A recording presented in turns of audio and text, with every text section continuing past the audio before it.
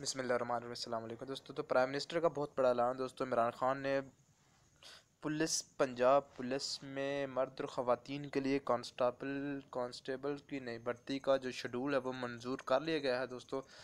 تو اٹھارہ اضلاع سے پینتالیس سے چونتی کانسٹیبل بھرتی کیے جائیں گے دوستو۔ بہت ہی خوشخبری ہے، بہت ہی دوست، بہت بڑی خوشخبری ہے دوستو ان لوگوں کے لیے، ان جوان مرد اور عورتوں کے لیے جو پولیس کی خواہش رکھتے ہیں جو چاہتے ہیں کہ ہم پنجاب پولیس میں ہوں تو دوستو، بہت بڑی نیوز ہے دوستو۔ تو پہلے برم نے اٹھارہ ضلع میں پینتالیس سو چونتی ہلکار بھرتی ہوں گے دوستو۔ اس کی تو اس کے بعد نوٹیفیکیشن جاری ہے۔ بھرتیوں کی تاریخوں کا لانچ چند روز میں ہوگا۔ صوبائی در حکومت میں اٹھارہ سو ستائی کانسٹیبل بھرتی کیے جائیں گے دوستو۔ تو اس کی نیوز کا جو ہے، آپ کے ساتھ میں نے شیئر کی ہے دوستو۔ تو اس کی چاند دنوں کے بعد انشاءاللہ اس کی نئی بھرتی کی جو ڈیٹ ہے، وہ کمنگ سون اپ ہو جائے گی دوستو۔ کانسٹیبل کی جو نئی بھرتی ہے وہ بتاتے دیں گے کہ لاسٹ ڈیٹ کب ہے، کب اپلائی کرنا ہے۔ ابھی صرف نوٹیفیکیشن جاری ہوا ہے۔